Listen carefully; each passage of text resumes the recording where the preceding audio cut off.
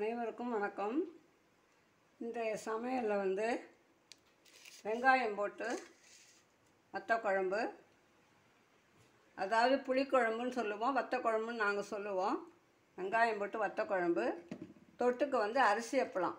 இது செய்கிறவங்க இதுக்கு தேவையான பொருட்களை பார்த்துக்கலாம் வத்த குழம்புக்கு இந்த புளியையும் உப்பும் ஊற வச்சு தண்ணி எடுத்து வச்சுருக்கோம்.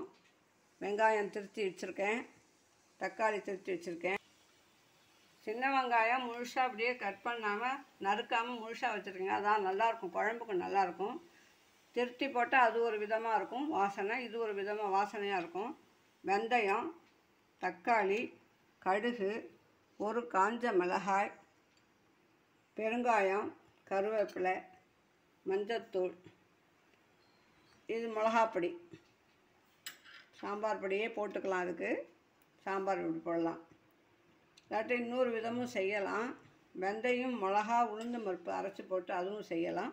நான் இன்றைக்கி இப்போ பவுடர் இது இப்போ குழம்பு மிளகா அப்படி போட்டு தான் செய்ய போகிறேங்க பாருங்கள் இது அப்பளத்தை பொரிச்சுக்கலாம் முதல்ல. வந்து அரிசி அப்பளங்க. இது பொரித்து உளுந்தப்பழமும் பொரித்து தொட்டுக்கலாம். இது அரிசி அப்பளம். நான் பொரிக்கிறது அரிசி அப்பளம். உளுந்தப்பழம் சில பேருக்கு பிடிக்காது. அரிசி அப்பளம் தான் சில பேருக்கு பிடிக்கும். இது அரிசி அப்பளம். இது அரிசி அப்பளம். பொறிக்கிறேன் பாருங்கள் காயட்டும். வத்த குழம்புக்கு என்ன போடலாம்னு சொல்லி பார்க்கலாங்க.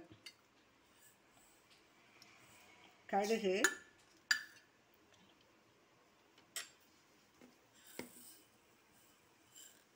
வெந்தயம். கடுகு வெடித்து வரட்டுங்க. பெருங்காயம்.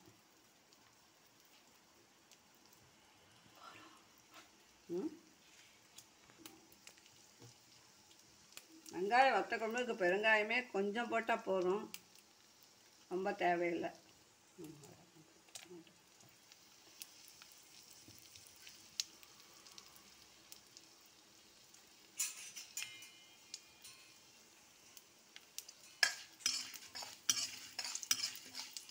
கடுகு வெடித்து வரட்டுங்க கடுகு வெடிச்சு வரணும்.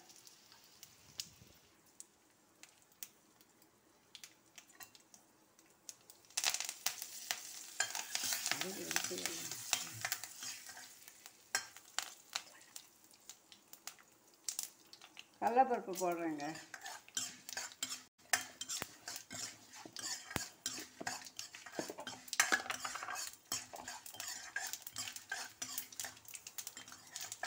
மஞ்சள்தூள் கொஞ்சம் போடுங்க.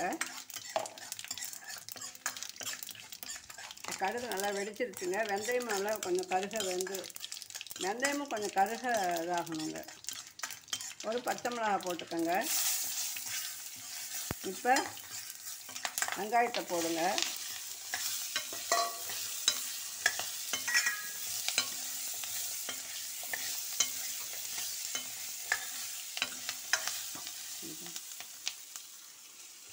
தக்காளியும் போடுங்க. இது கொஞ்சம் வதங்கி வரட்டுங்க.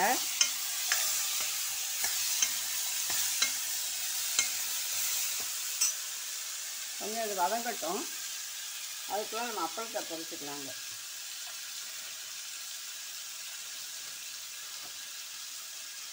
அதாவது வீட்டுக்கு சும்மா சாதாரண சாப்பிட வரணும். நம்மளுக்கே முடியல. சிம்பிளாக பண்ணி சாப்பிடணுன்னா இந்த மாதிரி அப்பளத்தை பொறுத்து ஒரு வத்த குழம்பு பண்ணி சாப்பிட்றலாங்க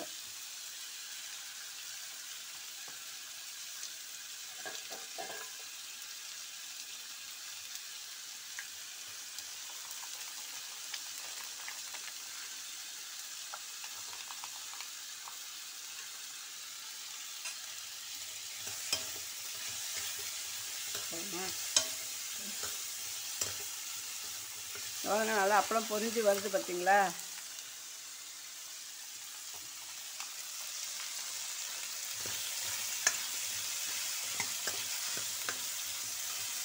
அதுவே நல்லா பிடிக்கும்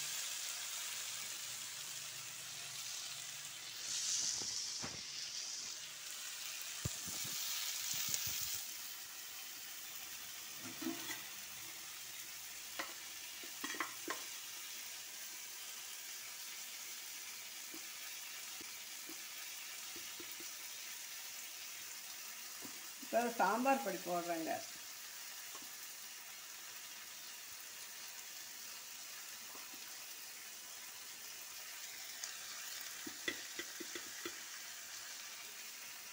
ரெண்டரை ஸ்பூன் போட்டிருக்கேங்க.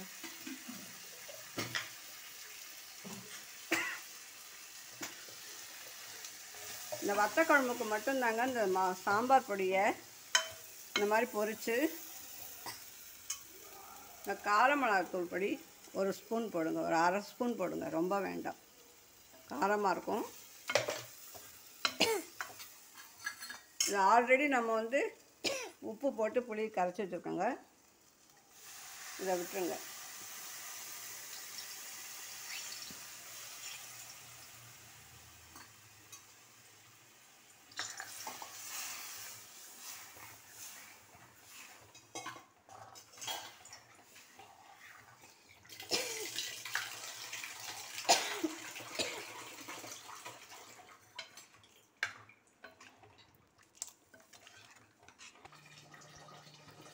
குழம்பு நல்லா கொதிக்கணுங்க.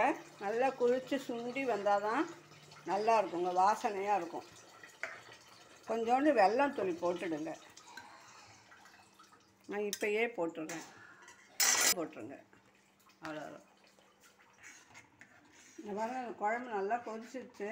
நல்லா சுண்டி வந்துருச்சு பார்த்தீங்களா எல்லாம் தண்ணி தண்ணியாக ஏதோ தெரியுது பார்த்தீங்களா இதை எடுத்து இப்போ நான் வேறு பாத்திரத்தில் சர்வ் பண்ணுற பாத்திரத்தில் மாற்றிக்கலாம்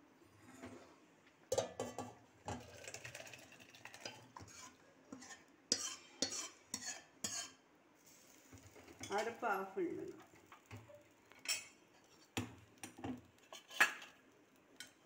இங்கே பாருங்கள் வெங்காயம் ஒத்த குழம்பு அரிசியை பழம் பொரிச்சிருக்கேன் இன்றைக்கி தினம் ஒரு சமையலில் வெங்காயம் போட்டு முழு வெங்காயம் போட்டு மொத்த குழம்பு வந்து அப்புறம் அரிசி அப்பளம்.